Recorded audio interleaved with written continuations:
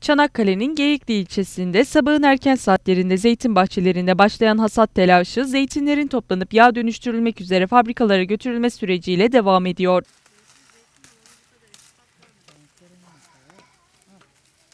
Büyük bir titizlikle tek tek elle toplanan zeytinler önce yapraklarından arındırılıyor, daha sonra da kasalara yerleştirilerek fabrikalara götürülüyor.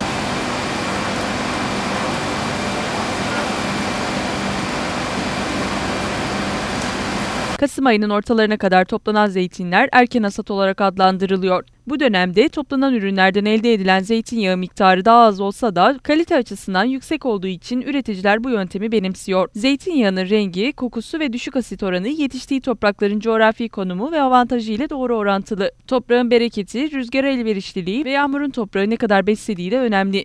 Bu anlamda Kuzey Ege'nin en bereketli topraklarına sahip olan kasabası Geyikli önemli bir üretim merkezi olarak öne çıkıyor.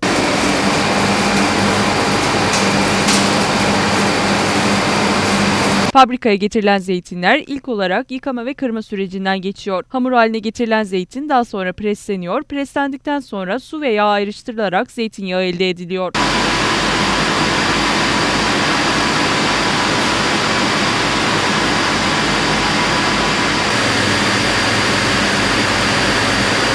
Geyikli'de zeytinyağı üretimi yapan bir firmanın sahibi girişimci Oya Zingal, zeytinyağının büyülü yolculuğunu anlattı.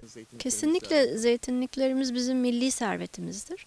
Ee, zeytin dediğiniz ağaç dünyanın her yerinde yetişen bir ağaç değildir. Belli bir havzada yetişir. Ee, bu sadece belli ülkelerde ve belli, ilim, belli iklim koşullarında yetişen bir ağaçtır. Biz de e, çok şükür ki bu açıdan zenginiz. Coğrafyamıza bahşedilmiş bir nimet.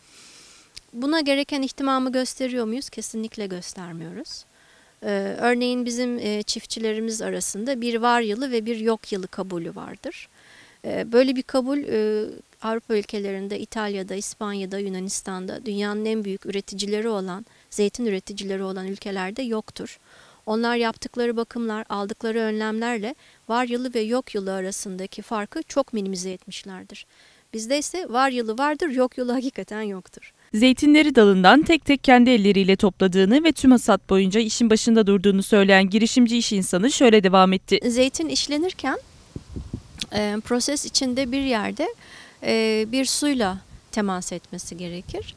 E, verilen bu su e, 26 dereceye kadar olursa buna soğuk sıkım e, ismi veriliyor. 26 derece üstü ise e, sıcak sıkım oluyor. Soğuk sıkım olmasının çok faydası var. E, çünkü soğuk sıkım olduğu takdirde zeytin içindeki, zeytinyağı içindeki bileşenler, polifenoller, antioksidanlar ve vitaminler e, zarar görmüyor. Daha doğrusu çok daha faydalı, sağlık için çok daha faydalı bir zeytinyağı elde ediliyor. Dolayısıyla soğuk sıkımın tercih edilmesi gerekiyor. Fakat tabii bu üreticinin bir tercihi olarak ortaya çıkıyor günün sonunda. Çünkü soğuk sıkım yapıldığında zeytinden alınan zeytinyağı daha az e, oluyor.